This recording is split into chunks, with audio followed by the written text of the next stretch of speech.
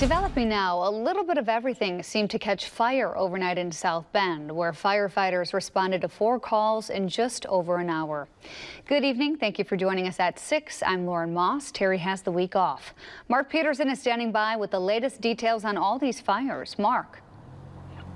Certainly a lot of variety in these calls. You had a dumpster fire, a grass fire, a shed fire, and a garage fire, all called in within about an hour's time Tuesday night into Wednesday morning.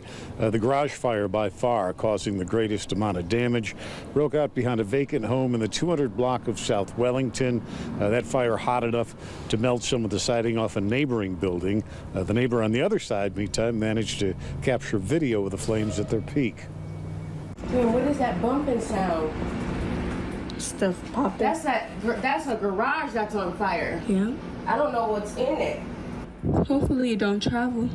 All I heard was pop, pop, pop, pop, pop, and I'm thinking, okay, it's fireworks. Until the lady came walking down the street and she was like, your, your backyard's on fire. I was like, what? Started running around the house, came back here and looked. I was like, oh, it's not my backyard, but there is a huge fire. Yeah, it was scary. The fire is still under investigation. The department says it doesn't uh, believe they're suspicious at this point. There's no evidence to link one event to the another. Interesting. All right, Mark Peterson live for us in South Bend. Mark, thank you.